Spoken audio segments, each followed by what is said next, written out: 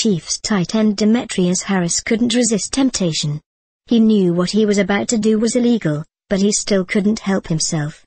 After leaping high and hauling in a touchdown pass from Tyler Bray in practice last week, Harris, a converted college basketball player, soared even higher and slammed the football over the crossbar in a move former Chiefs tight end Tony Gonzalez made famous.